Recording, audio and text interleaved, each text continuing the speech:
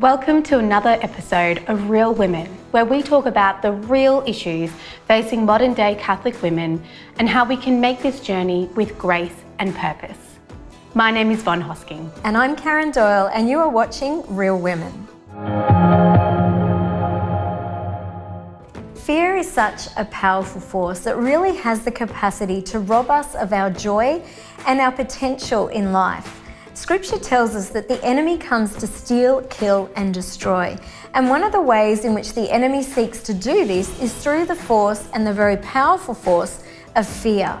If the enemy can get us to doubt ourselves, to doubt the goodness of God and the gifts that He has given us, then He can keep us contained and prevent us from stepping into the fullness of who God has created us to be. Fear of not measuring up can lead to faithlessness and disbelief.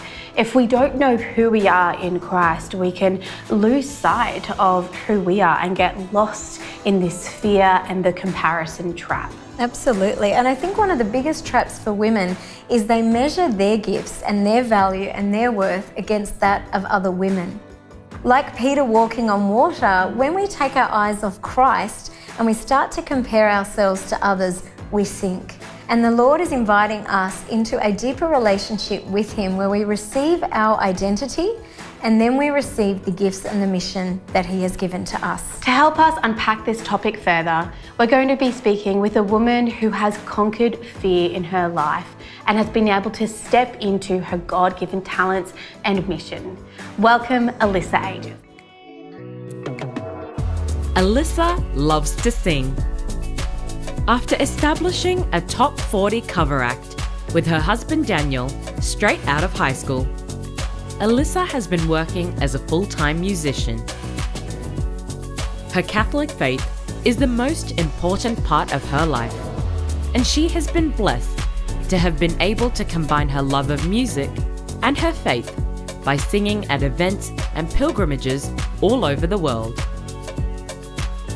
After joining the Catholic Influencers podcast as a co host in 2020, she joined the FRG ministry team in 2021 and heads the podcasts and courses department. Alyssa, we can't wait to unpack this topic with you today. Me too. I'm really just so pumped to be here. You guys are amazing, incredible Catholic women, and yeah. uh, it's just good. So wonderful. Good to be in your presence. So yeah, good. so good. We feel the same. Yeah, absolutely. and we're really looking forward to this conversation. Yeah, absolutely. Now, tell us a bit about your background, but particularly um, how your first experiences of fear in your life. I love music and I love my faith. So, a bit of background to those two areas of my life. I guess in terms of music, um, I remember when I was five years old at school in prep, the teacher said, Alyssa, you're off to your very first piano lesson. And so my parents enrolled me in piano, studied that for a few years. And then after that, I really developed a love of singing. So I joined the school choirs. I was that typical co-curricular kid who just Into got everything. involved in everything. That very typical high achiever. I just loved getting involved in everything and doing well at, at everything that I could. Um, and I was so determined to make music my full time career. I started writing songs when I was in high school. Um, you know, everyone told me I couldn't do it, and it made me even more determined to just prove everyone wrong. And so, all this, um, a lot of hard work and a lot of awesome things falling into place. I was able to, yeah, really make that happen. I met my husband in the process. Um, it was really cool. And so, I get to perform now um, at places all around the world corporate events, um, weddings, functions. Um, really fun, very, very blessed. Incredible. But at the same time, I guess faith was something that was really important to me, but it wasn't something that was important um, from the get go. I was brought up in an Italian Catholic family, so went to Catholic primary school, secondary school. I did all of the sacraments. I had a huge, huge party for my communion, confirmation, but my family never really went to church. Mm. Um, we perhaps went Christmas and Easter sometimes. I always believed in God. I loved learning about God at school. Um, and then I was able to travel to World Youth Day when I was in year 12. And then again, when I was 21, I went to World Youth Day in Madrid. And I think it was there that I really made the decision that I wanted to take my faith a lot more seriously. Um, so I came back and I, I, learned as much as I could, um, but I didn't tell anyone about it. So I kept music and faith just on two separate sides of the spectrum of my life. Um, and when I look back at, at, that time, I realized what was at the root of that was when fear first started to show up in my life. I, it was, I had such a huge fear of what others would think of me that I just couldn't tell anyone that I was into the faith. I couldn't tell anyone in the music industry that I was into the faith, and I couldn't tell anyone on the faith side of things that I was, you know, doing the music thing because. Um, you know, good, good Catholic girls don't sing pop music. I always had this crazy mindset of, of that. So um, that's kind of where it all began. What was the defining moment in your life? Sure. Where you were able to identify that fear? Yeah. You said it's hard to, to know if it is even fear, to identify and, and overcome it. Yeah, so I think I identified it maybe like a couple of years later, but I can tell you when I look back at that moment, the catalyst, I remember I was at a youth festival and I was singing there, it was a Catholic youth festival, and someone interviewed me and they the first question they asked me was, Alyssa, how do you combine your music and your faith? Wow. And I just remember thinking, oh my gosh, how am I going to answer this? because I didn't even realize that I was keeping them separate until this moment. So I'd come back from this festival, and I guess because I was working on the weekends a lot, I was able to really invest a lot of time into my faith. I started to go to daily mass, I started to get involved in my parish. Um, and I really just worked on my relationship with God for a really long time. And I guess I didn't feel like anything was happening, but I guess when I look back now, a few years later, I realized that I really had to learn who I was and, and where my worth, my true worth and identity mm. came from. Um, so that was the catalyst for it, definitely. Yeah, yeah, that moment. Isn't that funny? Coming back to that identity, I know that we spoke about this earlier, that we really do need to find out who we are. Um, as a beloved daughter of God mm-hmm. before anything else, exactly. you know, mm-hmm. because when we know that, then we can then God can use us. Yeah. Because we, we we have already identified it. And also fear then doesn't have its hold. Because we know that it's not about us the, at the end of the day. We're talking about this issue of fear and just how powerful it is and how it has such a grip on us. But I think fear is actually like it's a feeling that we feel and it manifests in like I guess eh, how we feel in our bodies in terms of anxiety, heart rate how it keeps us contained. But we often say that a feeling is a belief incarnate.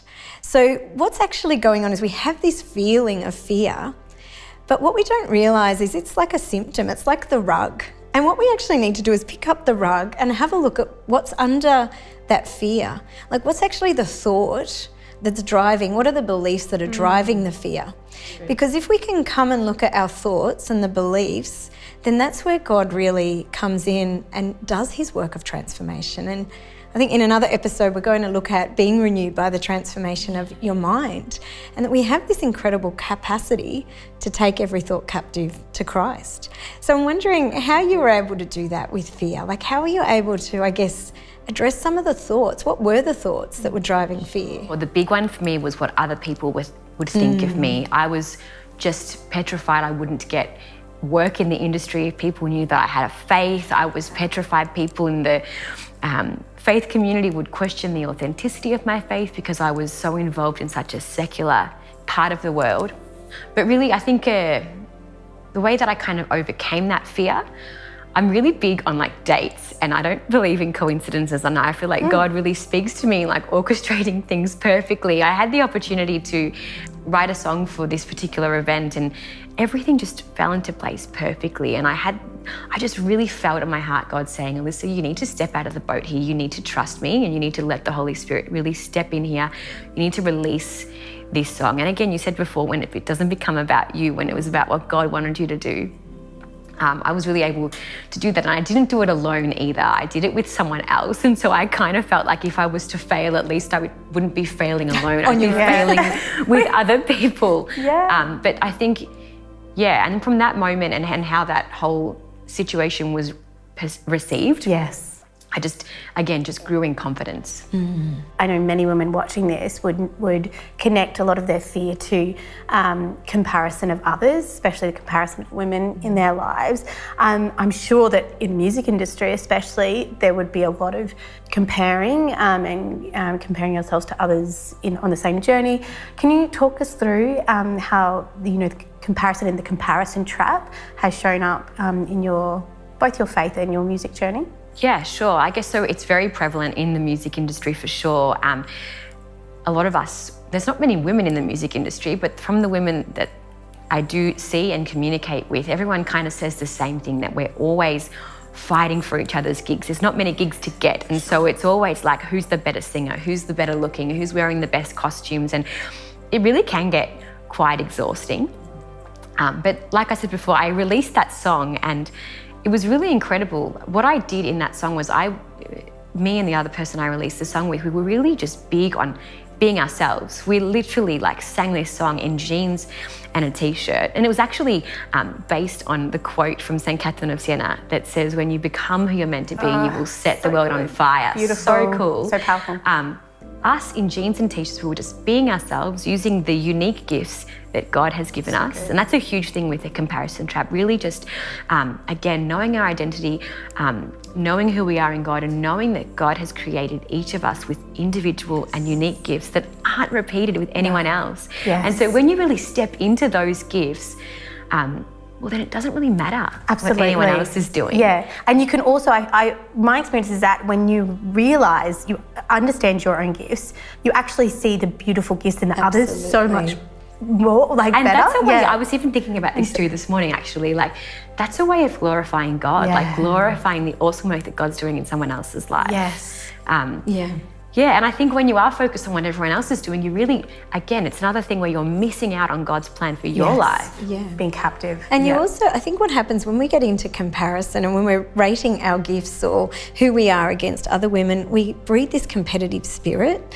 And the competitive spirit tends to bring others down in order to to elevate ourselves. But what you're saying is, I think one of the ways we can guard against this comparison trap and the competitive kind of spirit that exists in a lot of female relationships is to look at championing yeah, the other, exactly. championing in others' gifts and realizing exactly what you said, Alyssa, that what you bring, I can't bring. I cannot sing to save yeah. myself. Yes. I can dance, but I can't sing. But, you know, that gift that you bring.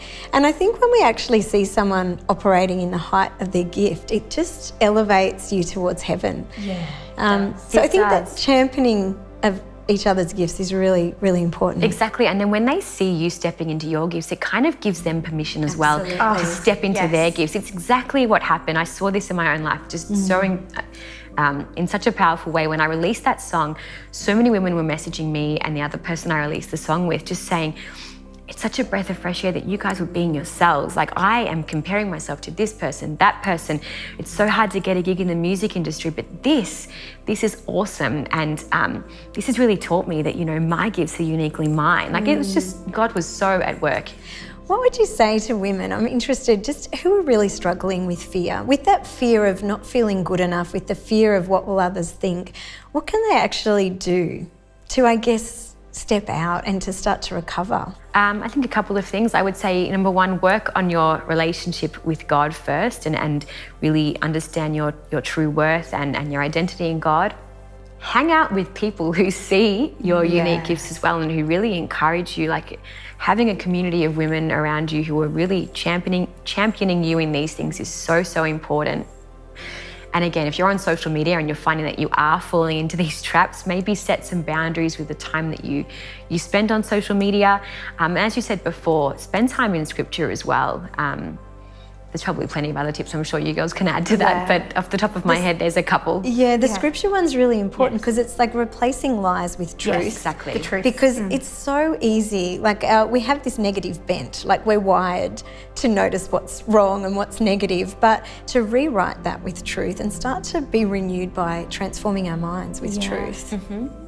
I'm curious to hear from both of you. For women who find themselves uh, in the space where they are comparing themselves to other women, but particularly when they feel the emotions of jealousy or envy towards another who perhaps is in the same space as them, same industry, you know, they compare their gifts and talents, but they aren't able to initially celebrate them or see their own giftedness, what's something that women can do in the moment when they have these emotions?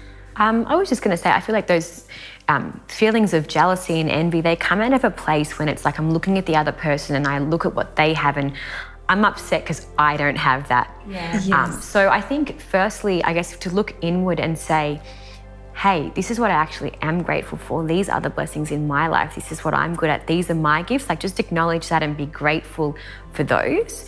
Um, and then that's, I guess that's looking inward. And then looking outward, just find something this person is doing well um, and really try and gravitate to that and also just remembering like you don't know the full story either like it might have taken this person like so many years to build up the courage yeah. to step into that gift and that's an awesome achievement i'm sure we can all yeah. ag- agree on that yeah. Yeah. Absolutely.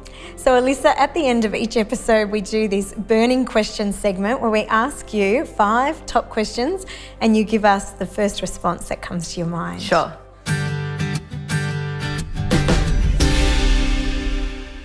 What does living fearlessly mean to you? I think for me, it means stepping into the person that God has created you to be without any hesitation, just going for it. Yeah, yeah, like it.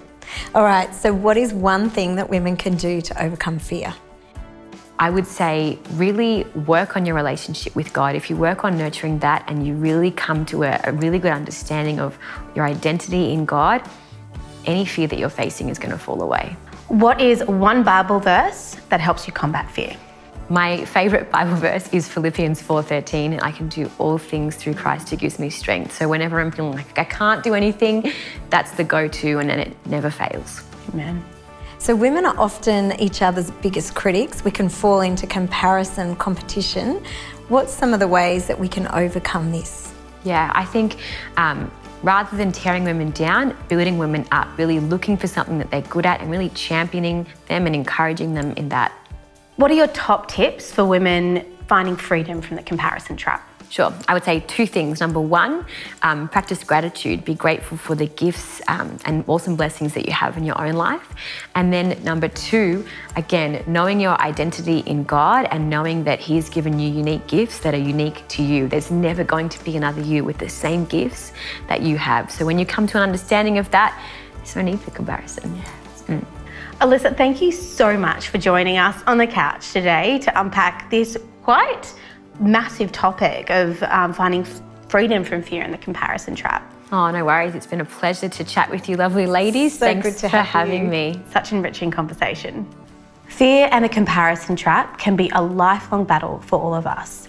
But when we spend time with Christ and remember who we are in Him, it can bring absolute freedom. Absolutely. And I think that's one of the first things is understanding and receiving our identity and then also receiving our unique gifts and then realizing where we're called to offer those in service and contribution.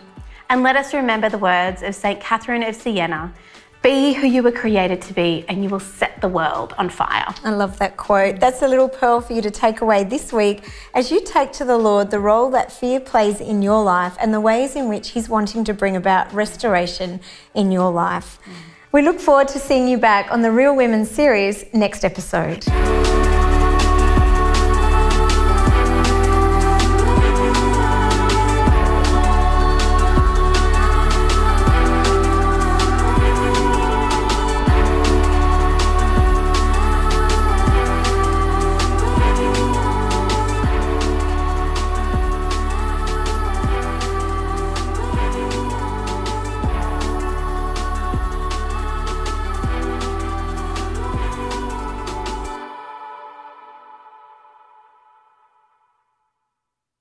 Problems, worries, sadness?